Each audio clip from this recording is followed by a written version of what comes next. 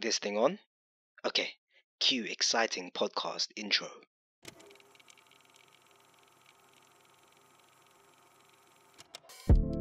We were created carefully by a creative creator who crafted the cosmos. He caressed the soul of the earth when he came. A baby, crying in a crib that darkness could not comprehend. And then he grew and did his most creative act yet. He painted us red, marking us clean with his death. And he rose again, giving us new threads, so you could look like him, friend. Creative and called. You are more like God than you've been told. Welcome to the Unboxed, Called, and Creative podcast.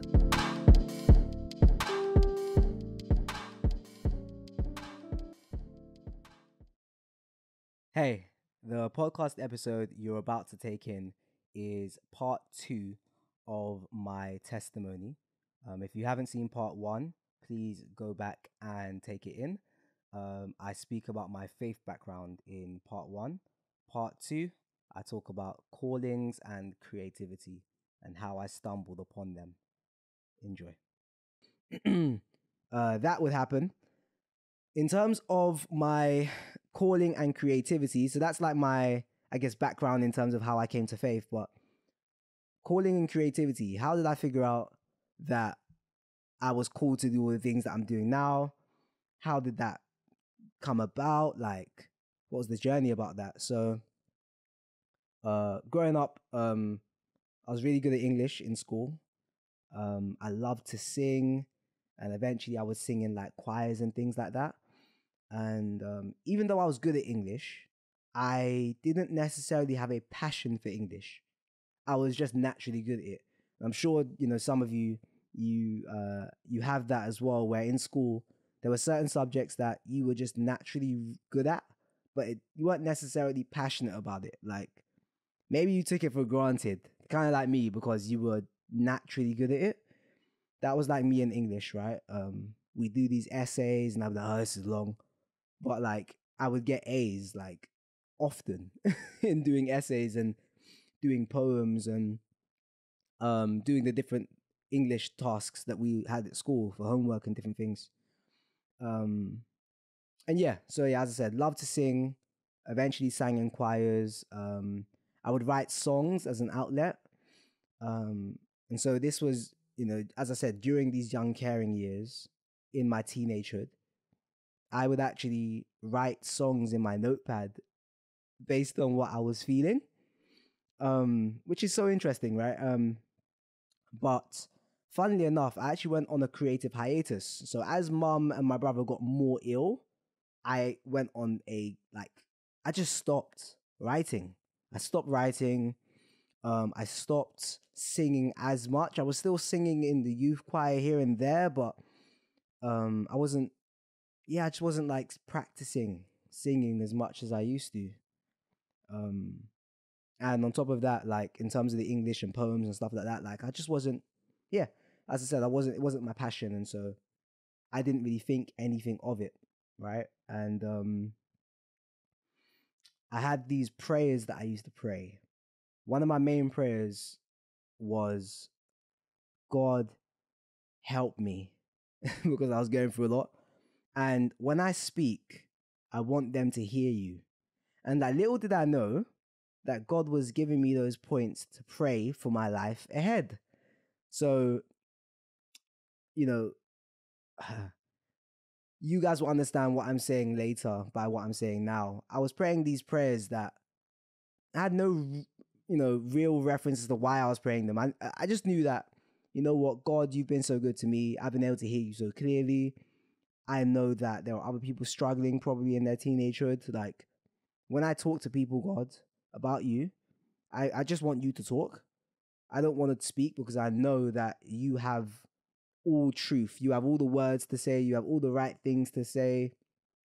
Um, and my eloquence and my wisdom isn't going to be the thing that helps people. It's going to be your your wisdom and your eloquence and your goodness. Um, and so yeah, uh, interestingly enough, God had started giving me really uncanny wisdom and so um, it was really interesting. Like at school, people would always tell me like that I speak above my age. Um, and older people would tell me outside of school, like just in my family and like family friends and stuff, they'd be like, Emmanuel, you talk like you're like 30. And I, I, you know, I didn't, I had no clue really. Um, I would just say what came up in my heart, right? And uh, little did I know that it was God, obviously, you know, God um, preparing me and God molding me and God shaping me um, for the kind of person that I was going to be to other people as I grew up. Um, and so, yeah, uh, let's fast forward to university now. So first first year of university was a bit of a backslide. So um, you know, just like most people, you go to uni as a Christian and you uh, kind of fall off the rails a bit, maybe because of the freedom, uh, because of the lack of boundaries. And so, yeah, I found myself clubbing, found myself um, just doing things that I wasn't supposed to do, like clubbing, dancing with girls in the club, um, drinking here and there. Um, I even eventually like socially got involved in like smoking, you know, weed and stuff like that at uni. Um, yeah, really just kind of went off the rails a tiny bit. But interestingly enough, I always had this conviction that I couldn't go too far, you know. So I, I, I still. So for instance, like before getting married, um, I was still a virgin, like throughout um throughout university, throughout all my years until I got married, obviously, to my wife now. Um, because yeah, I don't know, maybe maybe just because I gave my life to Christ earlier, the Holy Spirit just wouldn't let me do certain things. Like I just I would just feel a bit too convicted when it came to certain acts and stuff. Even though all sin is sin in terms of um spiritual cleanliness, but obviously, different sins have different consequences, right? And so, um, there were certain things that I just couldn't bring myself to do because I understood the consequences of those things, um, just due due to my um, reading of the word and my upbringing in in the spirit. Um. So yeah, moving on to second year. Second year, I found my way back um, again. Um, this was due to a lot of different factors, man. I think I was just that kind of a bit, a bit, depressed from first year. I realized that you know what, the world is not for me. Um, there is more peace in Jesus. There is more joy in Jesus. There is more control in Jesus. Like it's just better over here, um, in the kingdom of God. So came back to to Christ properly again in my second year, and that was when God started to call me out for a lot of different things, right? And so I decided that I was gonna really like immerse myself in ministries and immerse myself in um in God. And so I joined uh this ministry called Pensa um in University of Portsmouth, which is like a Bible study and fellowship. Um I joined the Portsmouth Gospel Choir so that I would have a worship and yeah, just a worship uh what's this word called? Yeah, so that I'd, I'd have a place basically of worship um, each week as well. And I joined a new church as well whilst I was there, and also offered myself to um, help uh, be an usher in the church as well, which is just helping people to their seats and making sure the service runs okay, packing down, setting up, etc., etc. And I started to really hit my stride, man. Like I started to really feel like I belonged somewhere. You know what I mean? Like uh, and yeah, all of my gifts and stuff started to really start to sprout. So this is when I started realizing that God speaks through me quite profoundly. Um, and I didn't I didn't know that it was prophecy or that it was prophetic. I didn't I didn't even know like I didn't even know about all these terms, bro. i will I'll be honest with you. Like when I gave my life to Christ when I was 12, and I was praying those prayers that I was praying, like God speak through me. That's really all I wanted. Like that's all I've ever wanted.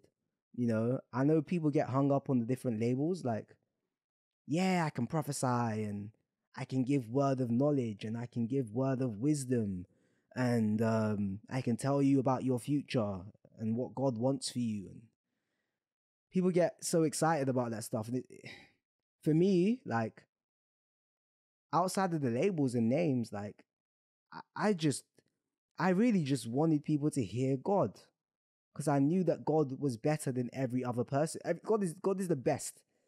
God has the best things to say to people because He's God, and He knows everything.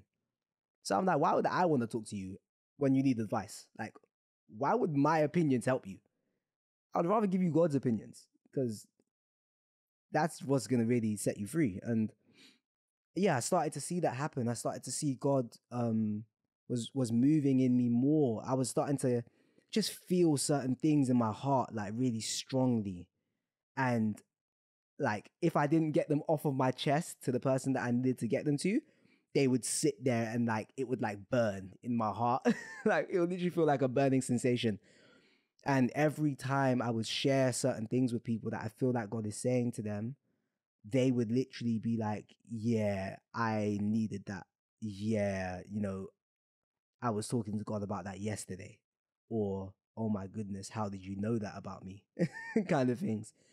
Um which was a blessing man and yeah i was starting to kind of come into my own um and so yeah that included different things like yeah i received the gift of speaking in tongues um and that was a very interesting interesting experience because it was literally supernatural we were we were praying we were giving thanksgiving in church and i literally felt a wind enter the room like you see it in the book of uh, the book of Acts, right? They talk about how a wind entered the room and they felt a wind and then they started speaking in tongues. I literally felt a wind enter the room, come over my body, and uncontrollably I'm speaking in another language that I don't know and I don't know what I'm saying. But it feels so edifying. It feels so like um what's this word called? oh, just so good.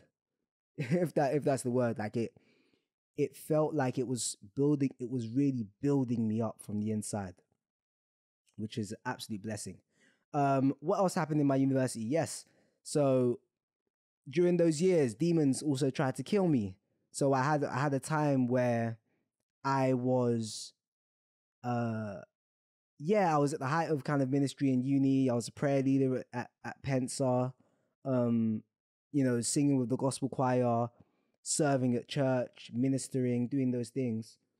And um, yeah, I'd been spending loads of time with God every single day, but I wasn't feeling, I don't know, it was weird. I wasn't feeling God as closely.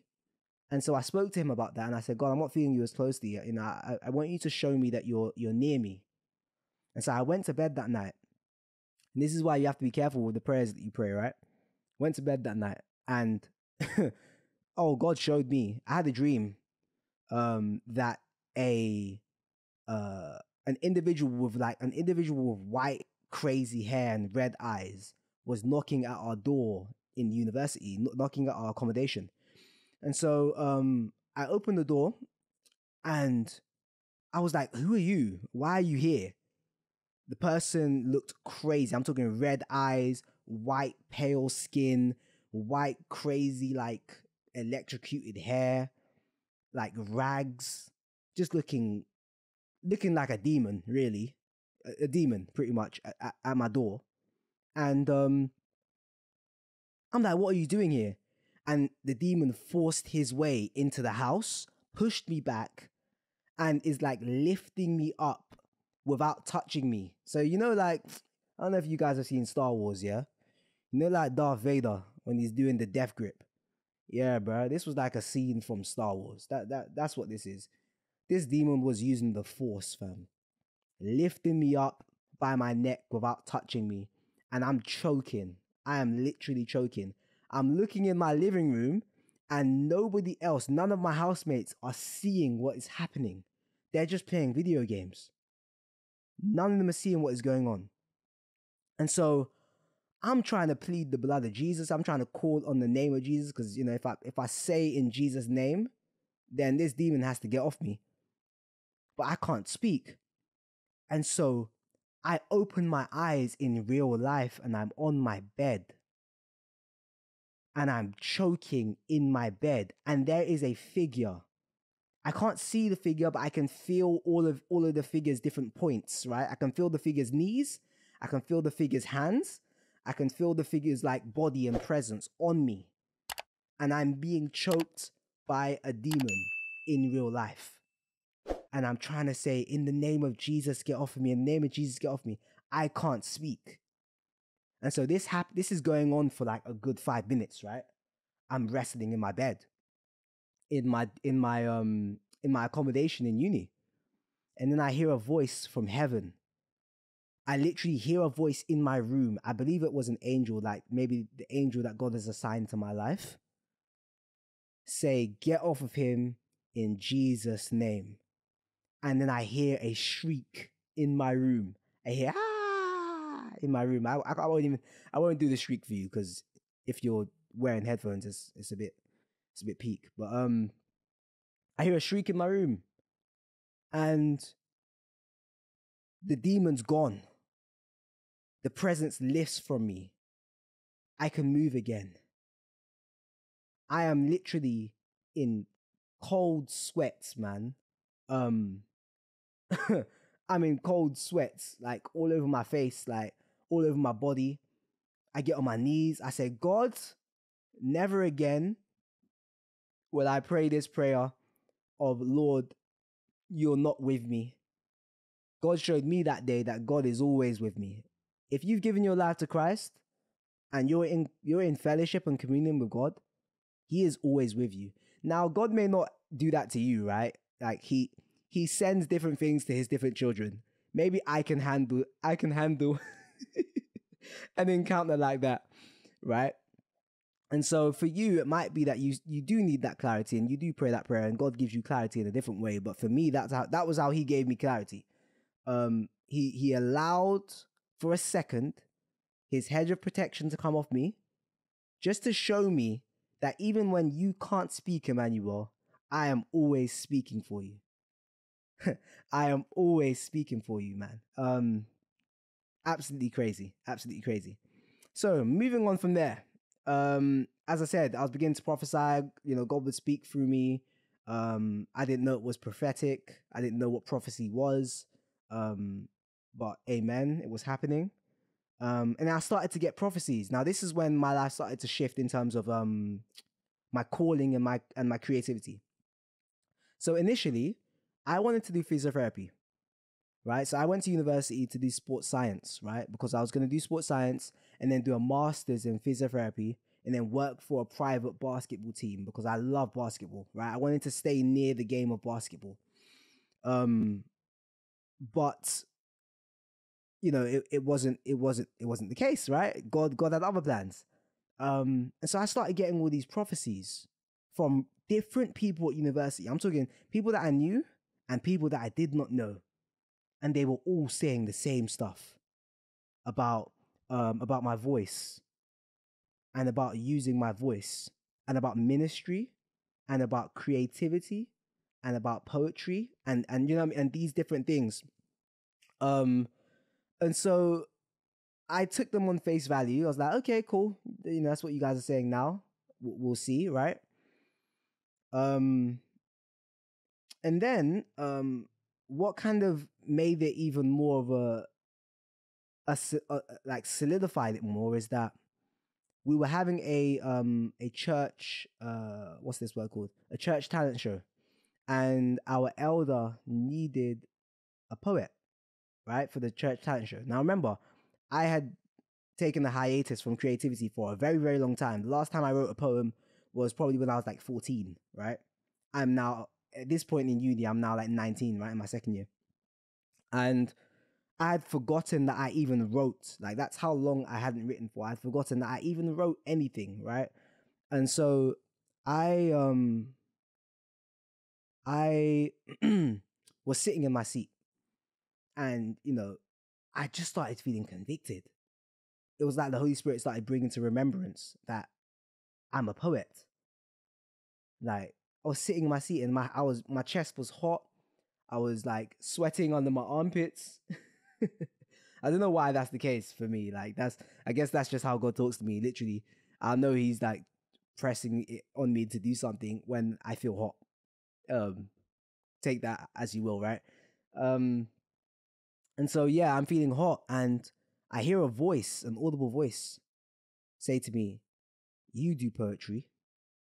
Put your hand up." I'm like, huh?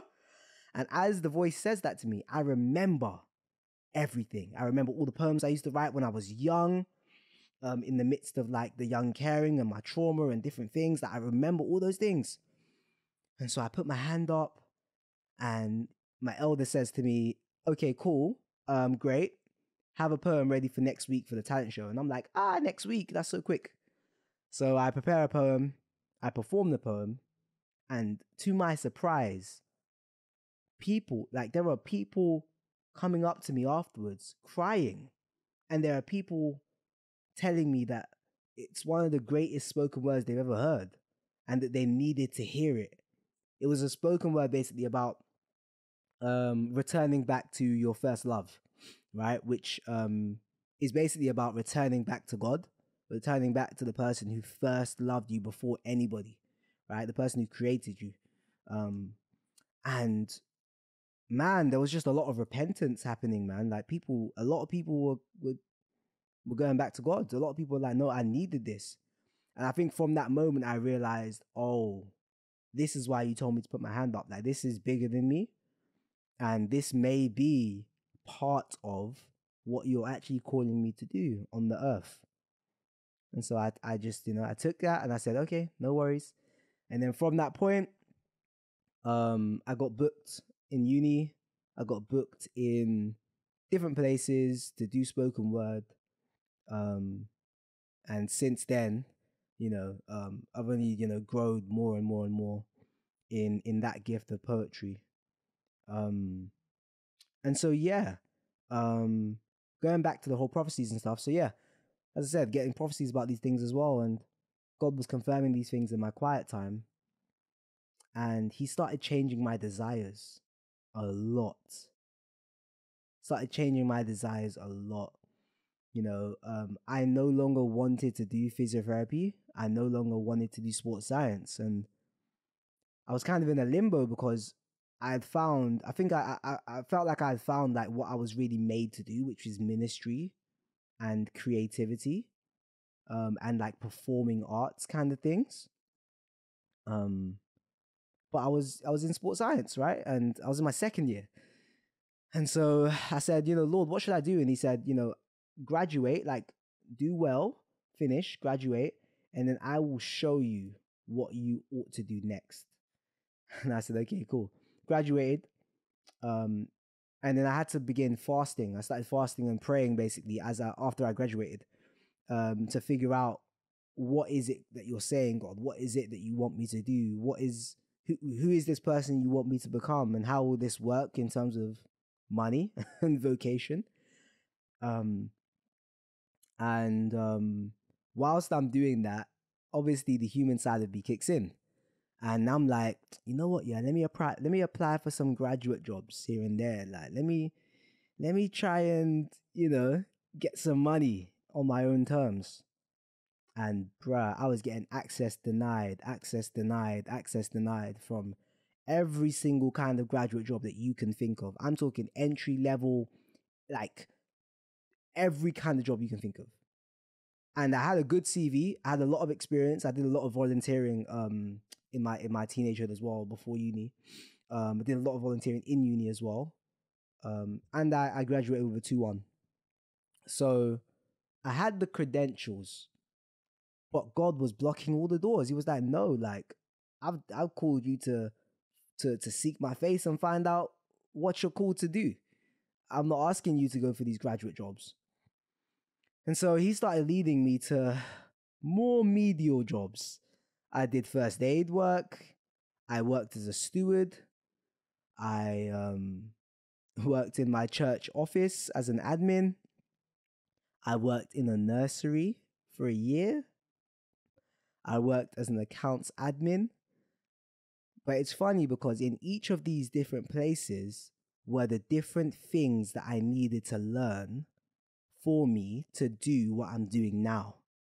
I learned some like serious lessons in those places. Like God was talking to me in each of those places in regards to the creative um, callings that God has for me and the ministry callings as well. Um, and so I want to encourage you, even as you're listening to me rant and you're listening to me tell you my story, um, enjoy the enjoy the little detours, you know, in life, because sometimes in those detours you actually find things that are more important than what you want. And interestingly enough, that's actually a quote from an anime that I really like. Um, but it's it's such a true quote. Like it's the detours in life, man, where you actually find a lot more of yourself than in the places that you want to go to. You know, and so keep your ears open, keep your eyes open. God has you in a certain place for a certain reason. And it does not necessarily mean that He's forgotten the promise over your life. Um, yeah, sorry, that's random. Um, so yeah, take take take that as you will. Um, let's continue. So yeah, end up bouncing from job to job, as I said. Um, and you know, whilst I was at this job, whilst I was at those jobs, God was giving me more blueprints of poetry, more blueprints of um, the clothing stuff that I, I do now, and more blueprints of voiceover work and narration and all of these things, right? And I believe it was because he needed to prepare me for it and prepare me for that work. Um, yeah, to the to the to the to the glory of his name. and so um yes, sorry, I'm just looking at my notes so that I don't lose track. Um so yeah, um, you know, as I'm going through those jobs and God is kind of teaching me certain things, um, I start walking in the direction that He's called me to walk in. So I start writing more poems. I start putting out little poetry videos online, you know, whilst I'm working at these jobs. I start um, uh, just putting my services out there.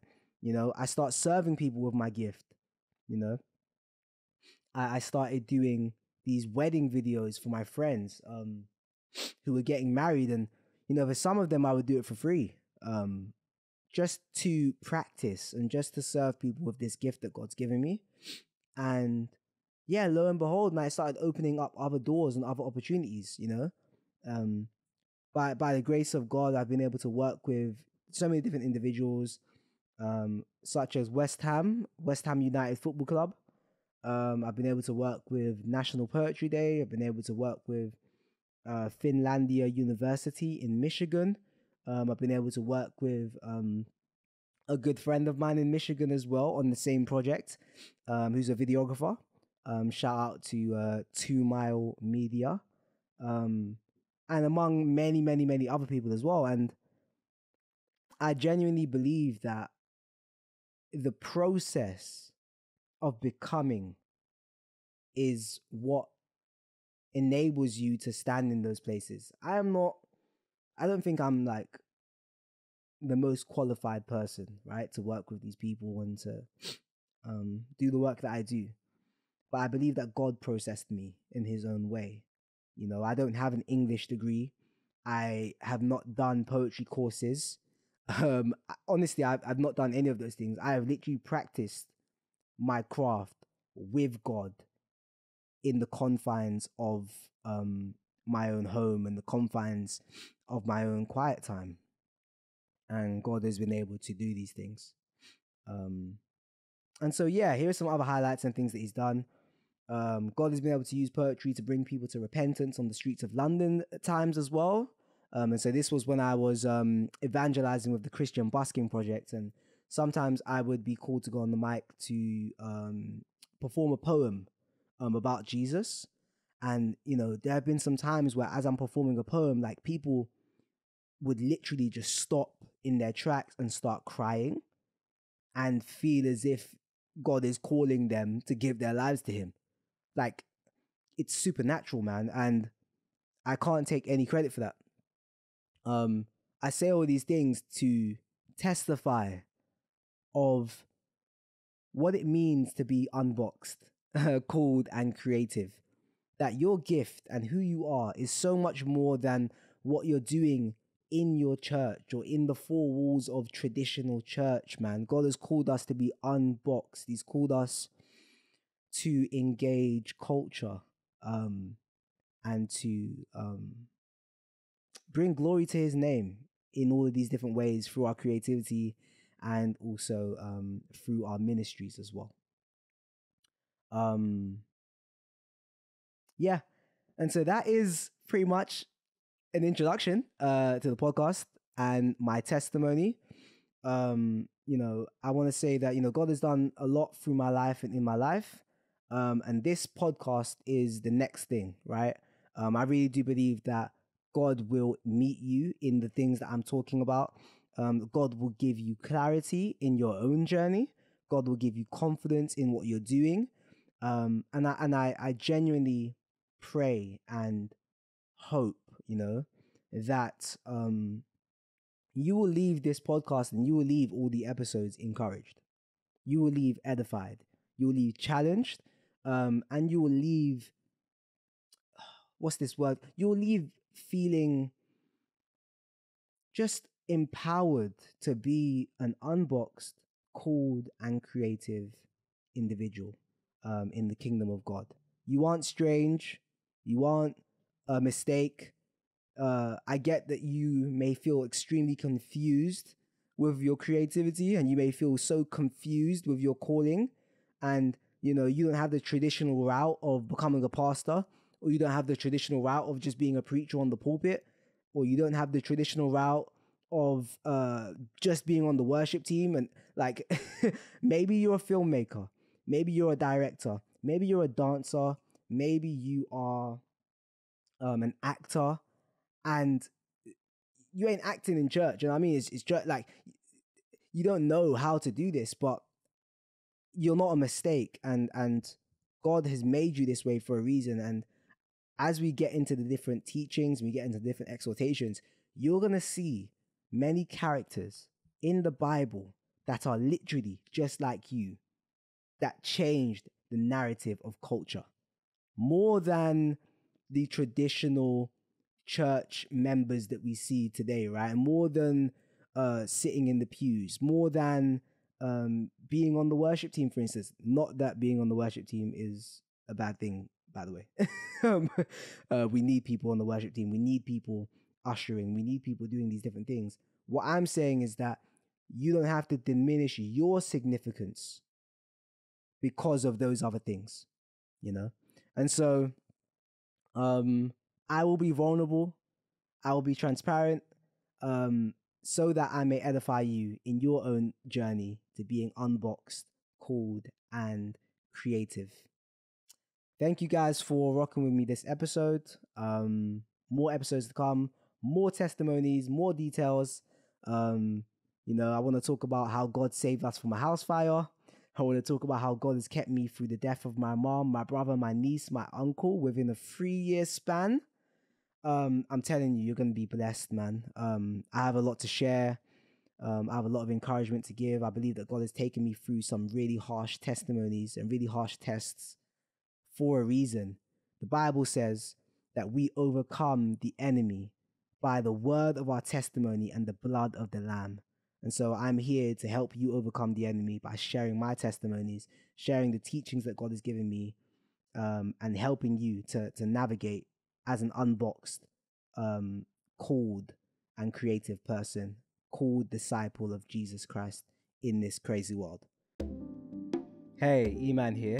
I just want to say thank you so much for watching this podcast episode or listening to this podcast episode. Um, we really appreciate it over here. We're just trying to reach as many unboxed, called, and creative people as possible. And with you watching it, liking it, sharing it, and commenting, this really does help a ton. So please, if you haven't subscribed, if you haven't liked, if you haven't shared, if you haven't commented, um, or given a review for the podcast, uh, please, please, please do that uh, now if you can. Okay, till next time.